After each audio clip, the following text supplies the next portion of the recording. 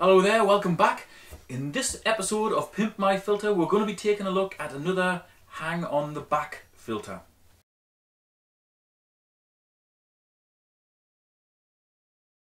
And this one is the All Pond Solutions 800-HO Plus.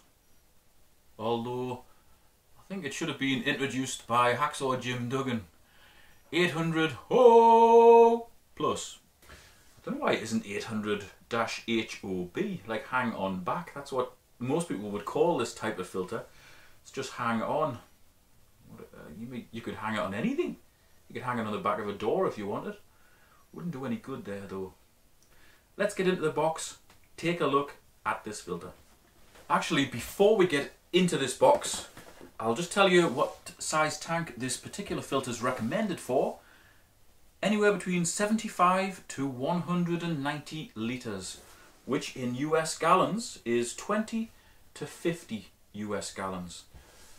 Although this is All Pond Solutions, I know a lot of their filters are also marketed by different companies in different territories. So the chances are in Asia this is called something else. Chances are you guys have got something that looks very similar to this that will be, I don't know, maybe it's a Sun Sun or something like that. You can tell me because I don't know. This one is All Pond Solutions. That's the UK company, but this will be made in China. And look at this, I've even got myself a little skinny tank with a yellow background so that the black stands out well against it. I got this, actually I got this off Andy from Dramatic Aquatics when he was moving house. I basically just cadged it off him. I didn't want to leave this lying around because this is a cracking one for flow demonstration videos that I will be doing in the future. This one won't be a flow demonstration video because this filter isn't mine, it has to go back. This one is owned by Mercia or Mercia, M-I-C... God, give me a second. M-I-R-C-E-A. I would say Mercia, Mercia. Uh, apologies, I don't, I probably butchered both of those pronunciations of the name. We've only communicated by email unfortunately, so I don't know the exact pronunciation. Right, it's immaterial anyway. Thank you very much for sending me this. I've wanted to take a look at one of these for a while. So let's bring the camera in and take a close look. Before we do that, I'll just take that off the bottom because that didn't actually come with it. That's one of the things that I'm going to do to improve it.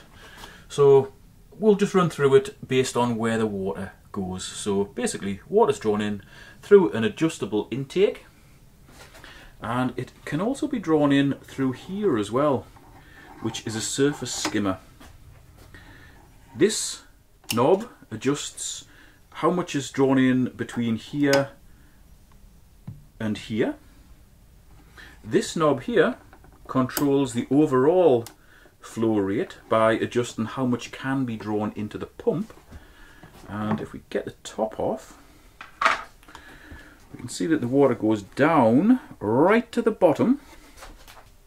So the pump draws water in from the tank down to here and then it puts it into a UV now the UV isn't on at present but when it is you'll see that indicator light will light up so in here we've got a 5 watt UV. And from the UV the water actually comes out at two different places. A little bit of water comes out the top here through this pad, through this section here which can be filled with media and then ultimately comes back out to the tank. I take this big cartridge out we can see where the majority of the water will travel.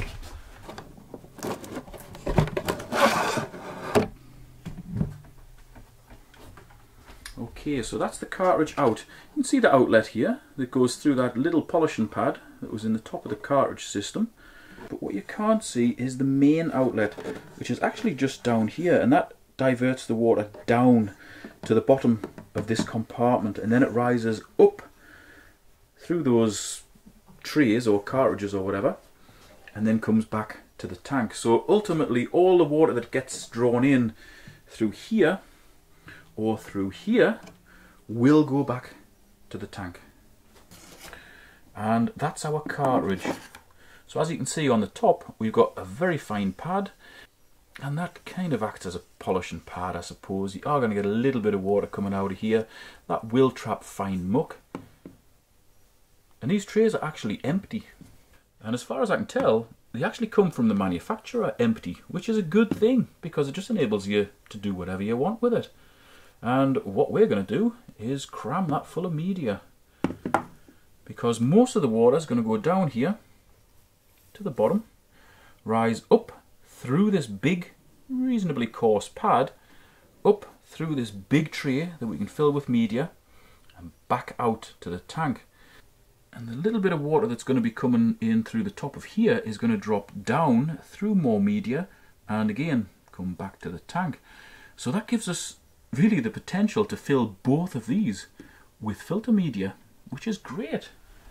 So really now that I've explained how the water goes through this thing, all it's left to do is fill these two trays with media. That's pretty much going to be it for this setup. You could take that coarse foam out and go with coarse and then maybe a medium pad. But to be honest, I don't really know what you would gain from that because most of the water is going to be travelling up. And even the relatively fine muck is going to get caught in that quite coarse pad. Eventually, all the fine muck may get caught in that very fine pad, but there's not much of it there. And I'll take that out and let you see. That's tiny. I mean, for you smokers out there, that's probably about the size of a big rolly paper. It's not very big at all. I'm not quite sure what you would replace that with either because all of the fine pads that I've got are anywhere between inch and a half and two inches thick. I don't think you could rip them that small. So if you are going to have to buy any replacement parts for this particular filter, it would be that little fine one in the top of there. Right, let's get this taken apart and you notice the way that came apart? That's very much like the dual internal filters. They have kind of a a folding cage that holds the various foams and the filter media. All Pond Solutions seem to have borrowed that idea and have used it to very good effect. So, we've got two compartments here. I'm going to fill these with bio gravel, which will enable us to get maximum surface area into a minimal space. And I'll do that come back to you and let you know exactly how much I've got in here. Okay, we've packed that out with the Bio Gravel, which is porous gravel made with the same materials as the Bio Home. If you don't know anything about it, uh, just look it up. And remember you can use whatever you want in here in the way of biomedia. I use this because it fits in very very well and I know it works to provide a home for aerobic and anaerobic bacteria. Aerobic bacteria sorts out the ammonia and nitrite, anaerobic bacteria sorts out nitrate. So in effect, if we have enough of this in a filter in a suitably sized tank, we should get a full cycle, which is zero ammonia, zero nitrite, and very low nitrate. So again, that's why I'm using this. Um, 650 grams in total, which is pretty good. I'm quite pleased with that because there's a lot of hang on the back filters just rely on cartridge systems and they don't really give you much scope for doing anything with. But this one just kind of leaves it up to you, you know. Gives you the empty shell and it just says, look, just do what you want with it. And what we've done with it should be quite effective. So we simply drop that back in there.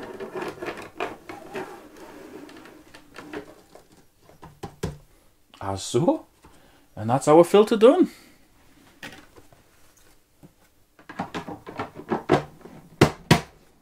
Good times. Now the one thing I forgot to mention there was the thing I showed you at the very start, which is this. This is actually off a Fluval hang on the back filter. You can buy these replacements online. It's basically a reasonably coarse sponge to go on the inlet of a hang on the back filter. So that is going to go on there. That'll attract quite a lot of muck. It'll save our main filter getting clogged so easily. This is quite easy to take off, squeeze out in the sink, and then you just slide it back onto the intake there. They will last a long time and they are pretty cheap if you buy compatible ones. If you buy the proper Fluval ones, really for what they are, they cost too much money. Just get compatible ones. I've got a bag of about 50 or something and it didn't cost me that much. I just bought them for these videos. So that's going on the bottom. That will complete that filter upgrade. I'm actually just going to have a quick look to see how much this thing costs. Because I know all Pond Solutions stuff is generally towards the lower end of the cost scale as far as aquarium gear goes. Hmm. Presently, online, they're £29.99. pence, Which, considering how many features that thing's got on, is pretty good when you compare it to a lot of the other hang on the back filters from other manufacturers. Pretty well made and it's got a reasonable capacity for biological filter media as well, which is a big thing with hang on the back filters. So that's not bad.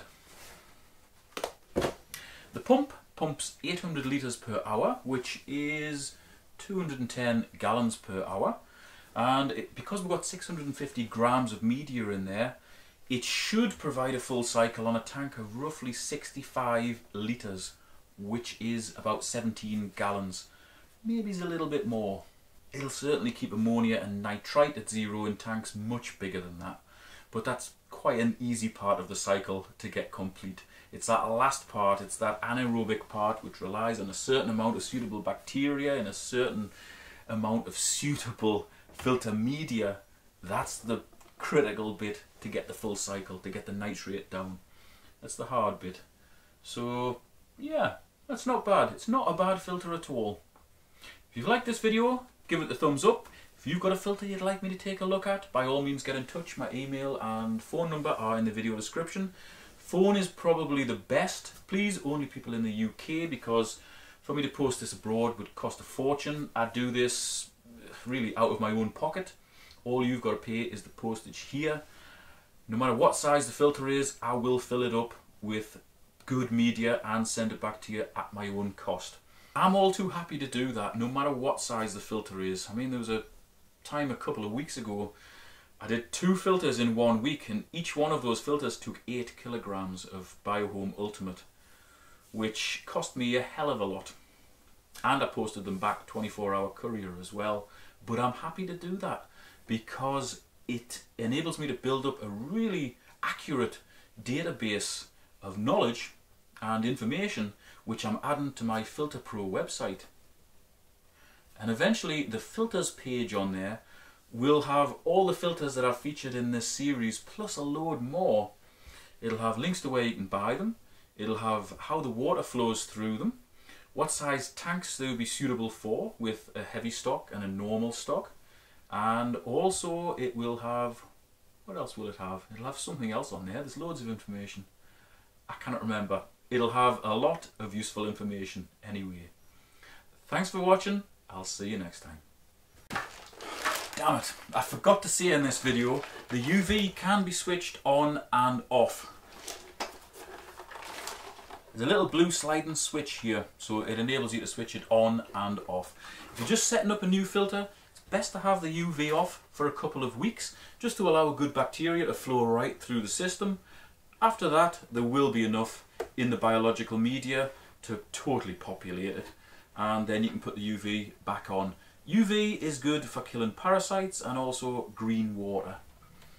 Generally they aren't a problem, but if they do become a problem, flip that on and you're sorted.